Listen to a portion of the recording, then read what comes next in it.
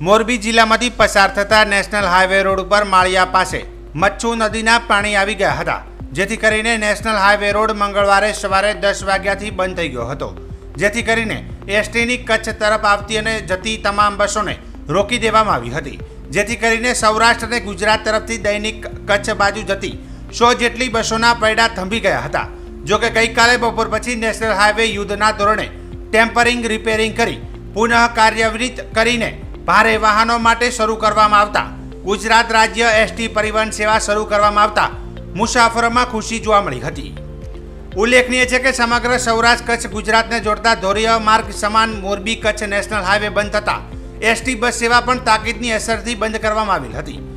मेरा नाम हीरेन सोलंकी है लास्ट तीन दिन से जो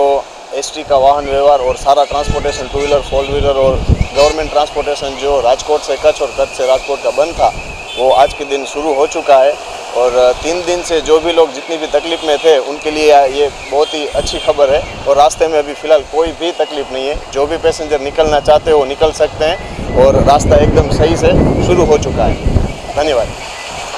हिरेन हिरेन सोलंकी આજે રાજકોટથી ભુજ જવા માટે સામે સામે એક બંને બાજુથી ચાલુ કરેલી છે એટલે અમે અત્યારે ભુજ જઈ રહ્યા છીએ રસ્તા બસ્તા વ્યવસ્થિત છે કોઈ જાતની તકલીફ નથી અત્યારે. તમારું નામ? યુવરાજસિંહ જાડેજા.